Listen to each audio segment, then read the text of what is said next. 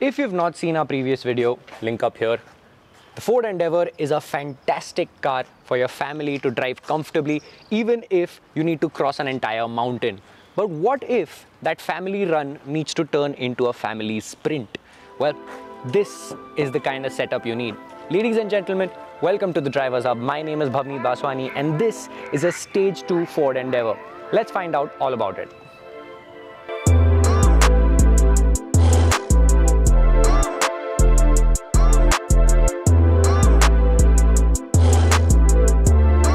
The Ford Endeavour looks pretty regal from factory, but with a couple of subtle touches, you can make the car look absolutely badass. Like this front grille that makes the car look super menacing in the front along with the, uh, with the front bumper.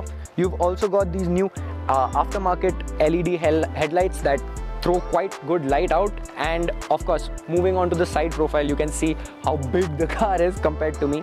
And these are only 18 inch tires but they are 65 section tires which are massive.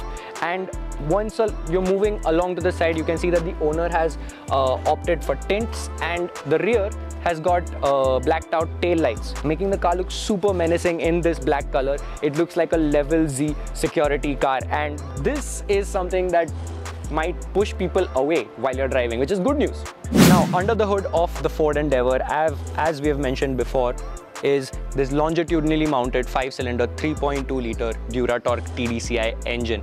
We've already covered it and it's a very smooth block. But this is a little bit different. It's got an air intake from BMC and a tune from Venom Performance, which now pushes out 250 bhp and 580 newton meters of torque, which I presume is still going to remain that smooth, but the experience is going to be much more exhilarating. So I'm super excited to go into the driver's seat and tell you all about it. So entering the Ford Endeavour, first, first things first, you notice how tall it is and entering the Endeavour, it is a very nice place to be in. You're filled with leather, very soft touch plastics, and wherever you touch, the build quality is fantastic.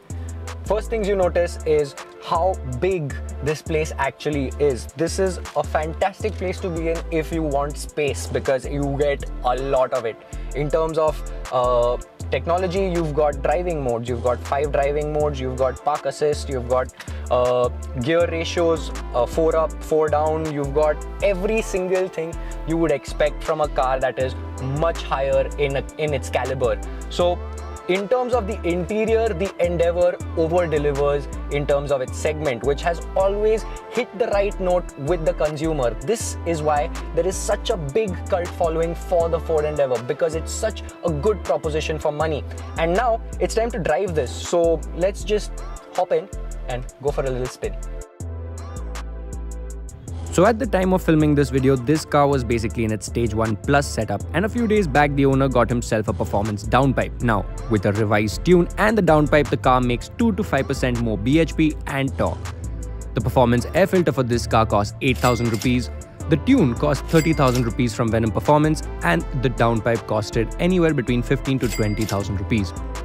Now, back to driving. So the best thing about the Endeavour is that you don't need to worry about road surfaces. Something that every Indian in every car needs to worry about. Is this place too bumpy? Am I going to scrape my car? Well, nothing of that sort. This thing is going to waft through anything you think about. This specific road has been used to test cars like an Abarth that was lowered, uh, the VRS 600, and we've all been uh, frankly speaking, shitting ourselves driving through this tiny little lane. But in the Endeavour, it's a piece of cake. To be honest, it was not even an effort that needed to be thought of. On the move, it is a very big car. It is a huge car. I mean, it is a little difficult to work around through traffic and the visibility could be a little bit better since it's quite boxy but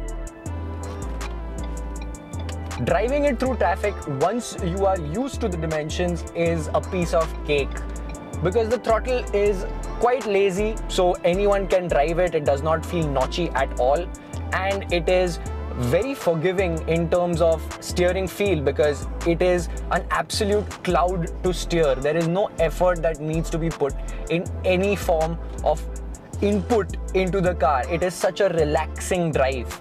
But put your foot down in this car and the amount of torque that comes from the front wheels makes it actually wheelie a little bit, which is so much fun. And it is quite easy to move and maneuver around the city with because when you think about it, big cars get more priority on the street for no reason whatsoever. It's just so easy to bully other people on the street. I cannot, I mean, it is something rather meek to say, but it is the sad truth of our Indian roads. And this gives you that kind of confidence where you're just not worried that someone is going to bully you out of a chowk, bully you out of a crossroad. And that is something that a lot of people seek for in a car. I mean, if you ask my mother, if you ask uh, your parents, they will be thinking about cars that are effortless to drive. And this is exactly that. Plus, when you get into a sticky situation, the cameras all around the car are very useful. You've got parking assist everywhere and it definitely does not let you get too close to everything because it starts beeping quite early. In fact, this is a very easy car to drive given the dimensions of the car. Now, talking about the engine response, this car feels a little bit more ready than the previous uh, stock setup that I had driven. However, it is not something that is super menacing and it's still very smooth.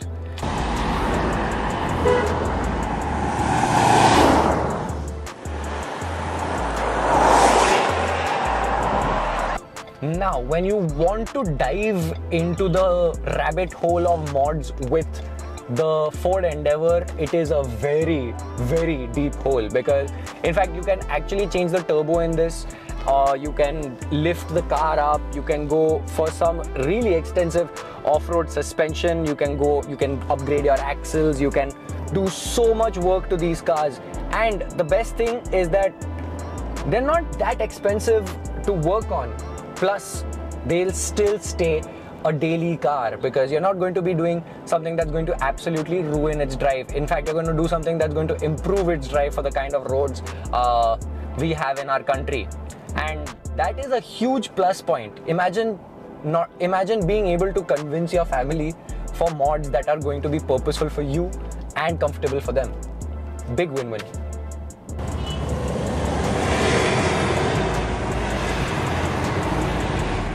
Now, if you're looking for a Doomsday Mobile, look no further than the Ford Endeavour. It comes super capable from factory. You can go anywhere, anytime. But this specific setup has become a mile muncher. If you need to run away from zombies during a nuclear fallout, this is the car that you definitely need. Do let us know what are your thoughts on the Ford Endeavour and what would you do with your Ford Endeavour. Thank you so much for watching. I'll see you guys in the next one. Peace.